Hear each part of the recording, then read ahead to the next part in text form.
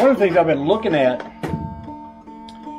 I found on Marketplace a T5 five-speed transmission just like that one uh, for sale not far from here. We're on ban.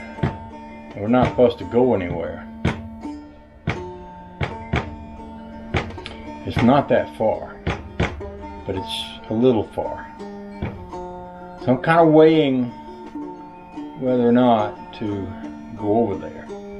As far as safety is concerned, I can drive all the way over there and all the way back without having contact with anybody. If I can speak to the person that owns this thing and make a deal, I could go over there and pick it up off the ground, leave a hundred, you know, leave a hundred dollar bill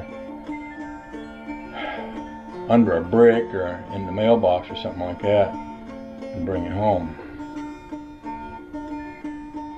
I might send him a message. I don't know. I'm just, I'm just, I don't know. I, am I'm, I'm pretty sure I can go over there and back without infecting anybody or without anybody infecting me.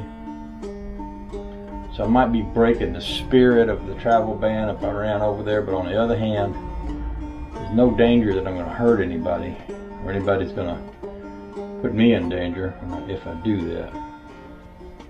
Uh, my thinking is, and I've talked about this before, I've got a set of pedals for the Rambler, 65 Rambler down in Georgia. It has a 350 automatic with a uh, B&M Hydro kit in it where you change the little balls inside and it makes it burn rubber when it shifts gears. It's an awesome transmission. But if I put a T5 in it, I would have an overdrive straight shift transmission and I've got the pedals to change it over with. And that would be awesomer. Uh, I might have to change, I might have to re-lengthen or shorten the drive shaft if I made that change.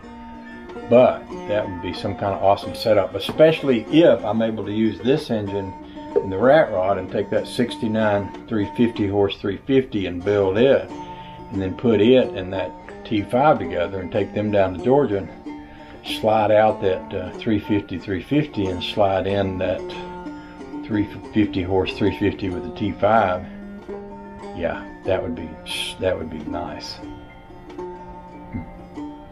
So I'm going to contemplate these things before I do anything.